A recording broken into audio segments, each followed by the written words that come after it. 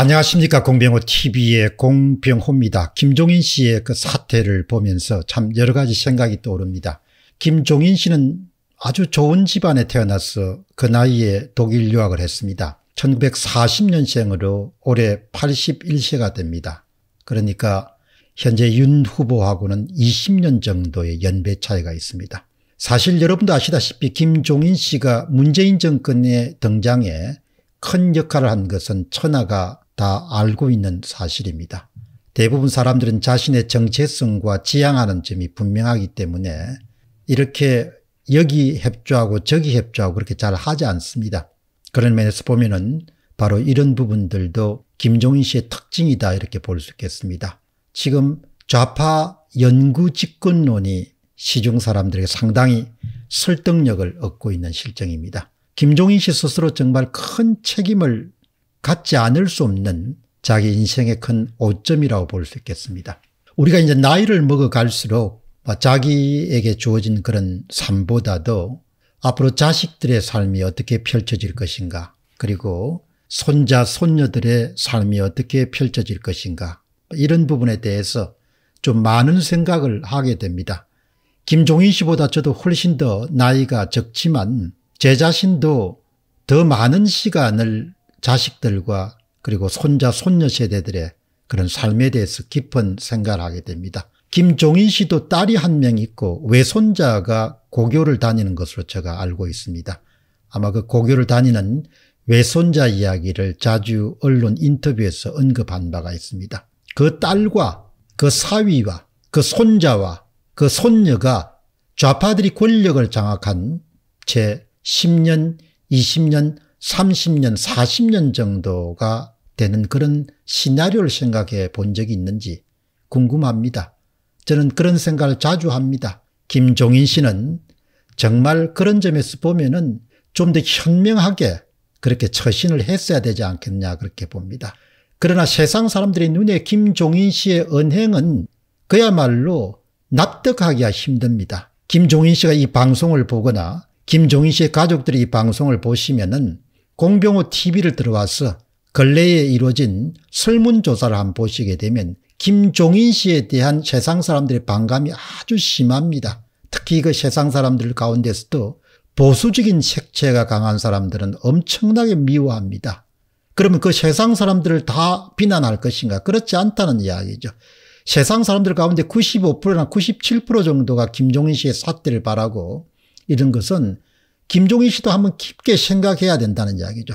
82세대는 영감한테 왜 세상 사람들이 그렇게 비난을 퍼붓는가라는 부분을 깊이 생각해야 된다는 것이죠.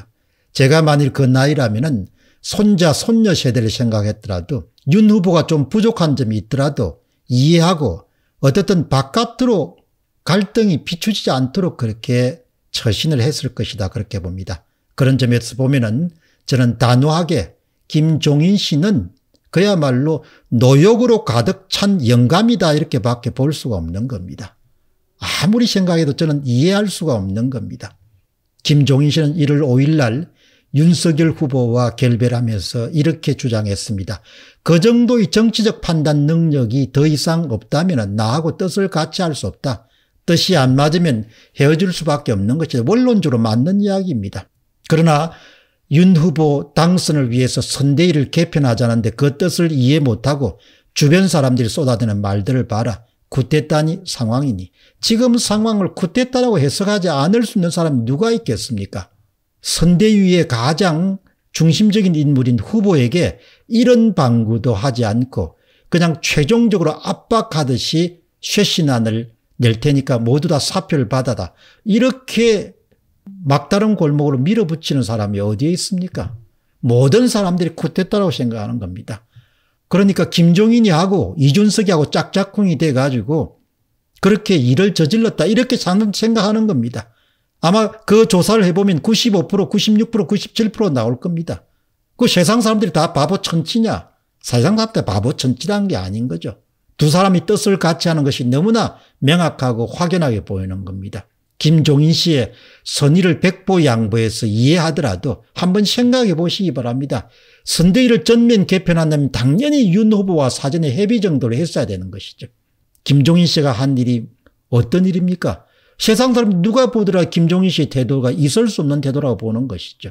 그냥 내가 하는 대로 받아들여 이렇게밖에 더 되는 겁니까? 그걸 받아들이면 세상 사람 어떻게 생각하십니까? 아, 저 양반 바보구나. 저 양반이 하수유구나. 진짜 주인은 상황이 있구나. 이렇게 생각할 수밖에 없지 않습니까? 나이 80세 정도가 돼가지고 조직 내에서 일을 처리하면서 후보를 그냥 막다른 골목에 그냥 쳐 넣은 다음에 이거 받아 먹어 안 받아 뭐 이런 식으로 하는 사람이 어디 있냐 이야기죠. 그건 제정신이 아닌 인간들이나 할 수 있는 짓인 거죠. 김종인 씨가 이번에 한 것이 제정신이 아닌 짓을 한 거란 말이죠. 많은 사람들이 결국은 김종인과 이준석의 합작품으로 볼 수밖에 없는 겁니다. 지금 국민의힘의 우호적인 사람들은 거의 90% 50% 이상이 김종인 씨를 못마땅하고 있습니다.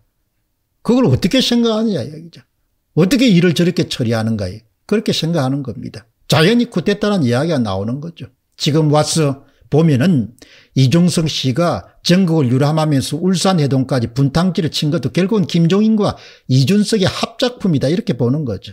극적으로 그냥 분탕질을 친 다음에 울산에서 그냥 전화했더만은 김종인이가 오케이 했다 이렇게 나온 거 아닙니까? 이제는 설령 윤 후보가 패배하는 한이 있더라도 이렇게 김종인 씨하고 손을 잡고 갈 수는 없는 일입니다. 언제 또 뒷담화를 칠지 모르니까 이준석이하고 합작이 돼가지고 이번 사태도 제가 보면은 너무나 석연치 않은 부분이 많은 겁니다. 이준석이 아주 공개적으로 이야기합니다. 자기가 가장 소통이 원활한 분이라고. 그러니 두 사람이 원활하게 소통했으면 무슨 짓을 하는지 어떻게 아냐 이야기. 이준석이를 좀 진정시키기도 본인이 그렇게 약속하고나서 뭘 했습니까? 무슨 짓을 했습니까? 오히려 훨씬 더 심하게 이준석이 돌아다니면서 그냥 해당 행위를 하도록 용인하지 않았습니까? 나이 81세면은 북망산이 멀지 않은 나이입니다. 제가 이렇게 나이 드신 분들을 보면서 참 인격적으로 원숙해지는 분도 있지만 어떻게 세월이 가면 갈수록 그렇게 노욕으로 가득 차가지고 그렇게 무리한 행동을 하는 사람들도 나이 든 분들이 꽤 있는 거죠. 나이 80이면 그야말로 북망산이 멀지 않은 나이입니다. 제가 김종인 씨에게 해주고 싶은 이야기는 당신 자신만 그동안 호의호재했지 않습니까? 좋은 집에서 나가지고 그 당시에 독일 유학도 하고 그 다음에 뭐 온갖 권세는 다 누렸지 않습니까? 당신 자신만 생각하지 말고 자식들 생각도 좀 하고 손자 손녀 세대도 좀 생각하면 절대 이렇게 그냥 파토 놓지 않는다 이야기죠. 어떻게 이렇게 처신할 수 있냐. 도저히 저는 손자 손녀 세대를 생각해서라도 이렇게 해서 안 된다고 생각하는 거죠. 윤 후보가 거의 20년 차이가 나는 겁니다. 무엇이든 도와주려고 나서야 되고 무엇이든 어떻게 해주려고 나서야 될 그런 나이인 거죠. 많은 사람들은 노욕에 가득 찬 자기 중심적인 노인네 정도로 김종인 씨를 생각합니다. 궁금하면 은 공병호 TV에서 김종인 씨에 대해서 설문조사 내용을 참조하시기 바랍니다. 수만 명의 사람들이 김종인 씨를 어떻게 생각하느냐. 정말 김종인이 한 인간이란 용어밖에 저는 사용할 수 없습니다. 언론에서 다시 보지 않기를 바랍니다. 공병호 TV의 공병호였습니다. 감사합니다.